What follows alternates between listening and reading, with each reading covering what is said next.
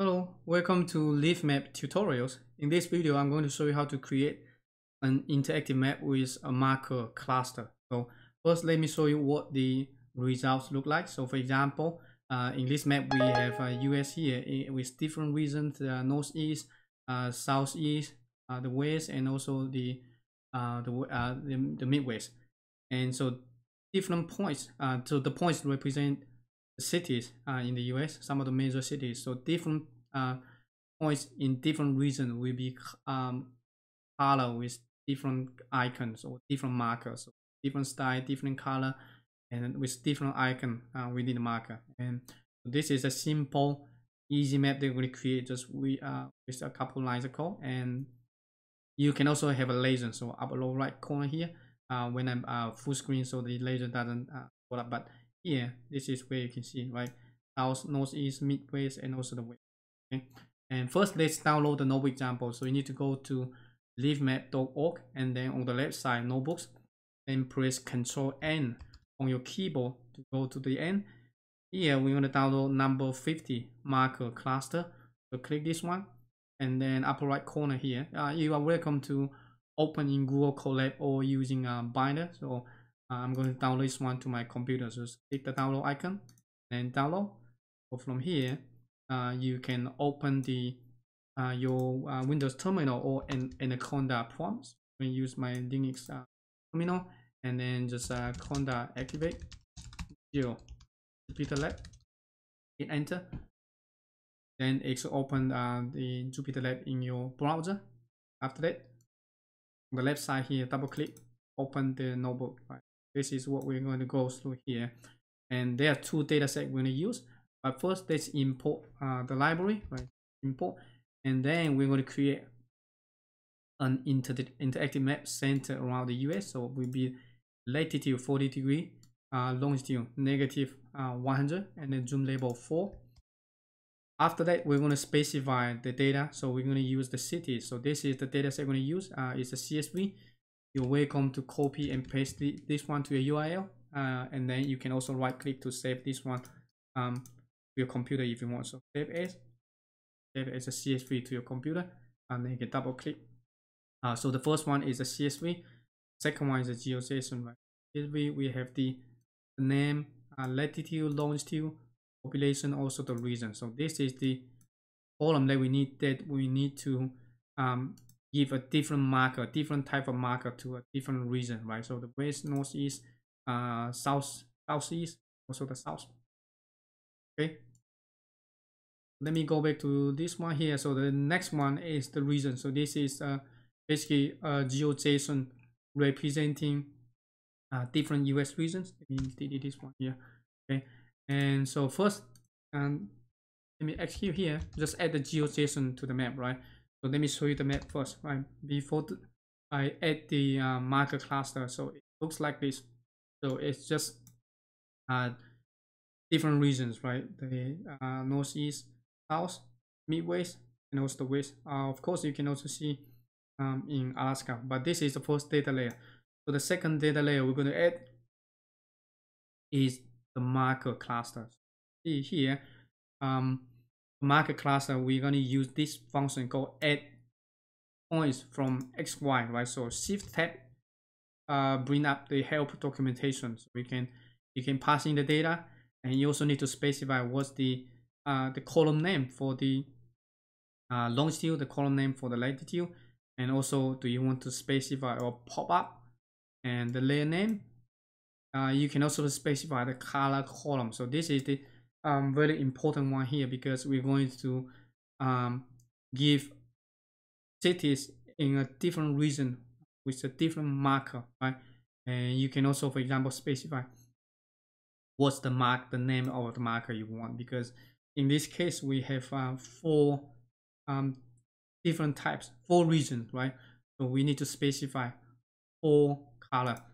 And let me execute this one first, just to show you what it looks like. So now all the points have been uh, added to the map. So let me move, uh, minimize this one.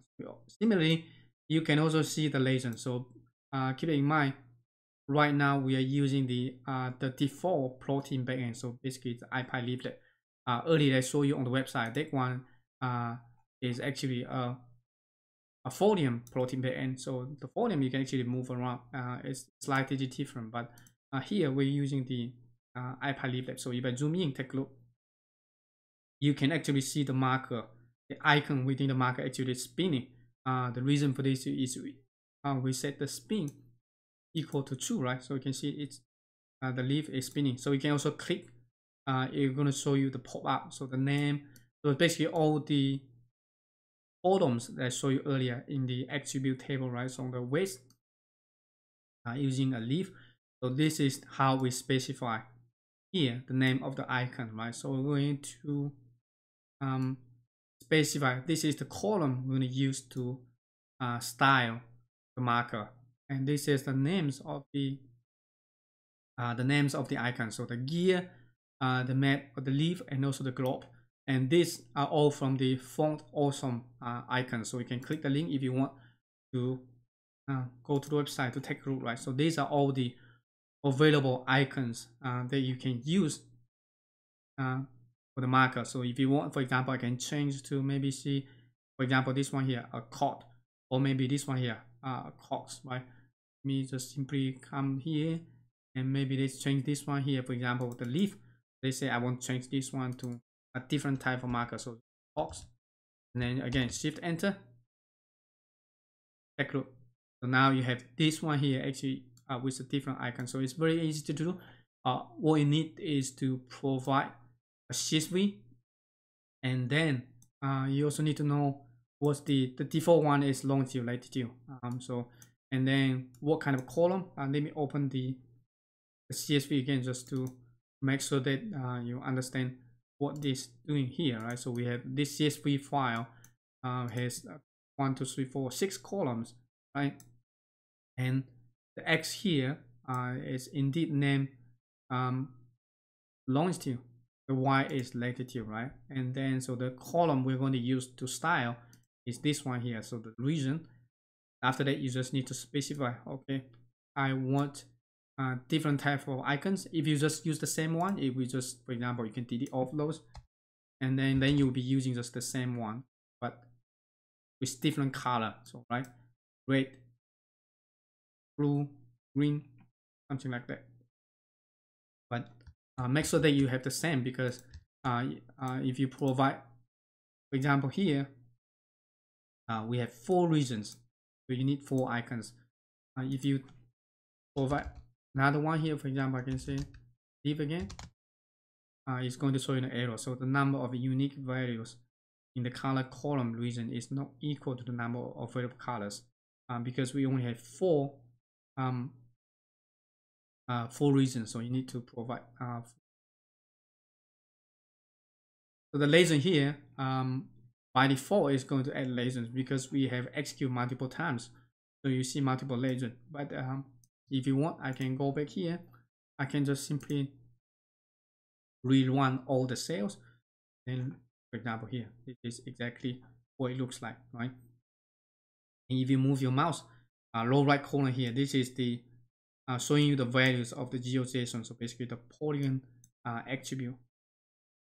And this one is for the IPyLeaflet, but you're welcome to use the Folium. So I can, you basically, you simply need to change one line and uh, everything else remain the same. So I can just foliumap uh, is div map.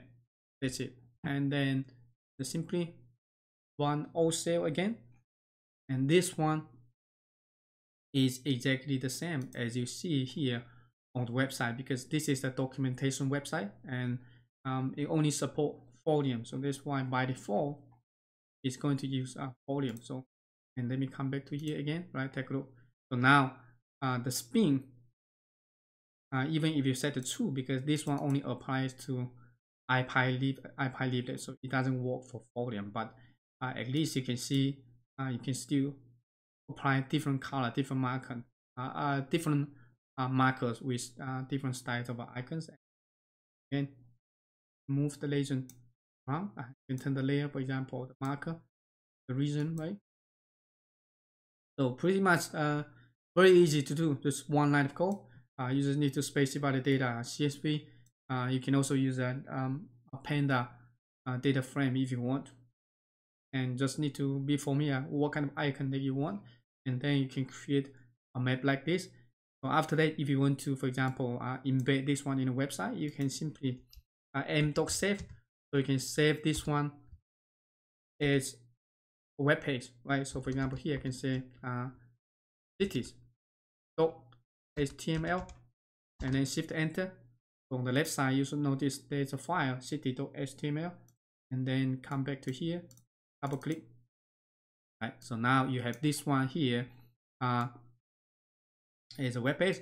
After that uh, if you want you can uh, create for example uh, glitch.com and you can uh, create a new web new for example let me create a new project. Here.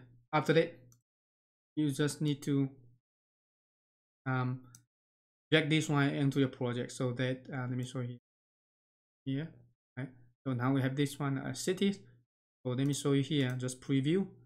New window. Right so this is the link or the url you just need to put here. Uh, slash cities. Or cities dot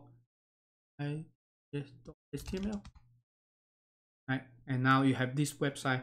Up and running what you need just simply uh, copy the link and send to anyone that uh, that you want them to uh, share um to look at the website and you can click right? You will show the pop-up. So very easy. Um you can use this one to uh, create a map for any kind of a point data. And then you want to if you want to customize different styles for uh, different categories uh, of the data. Okay so that's all for this video. I hope you find it useful. Uh, hope to see you in the next video. Take care. Bye bye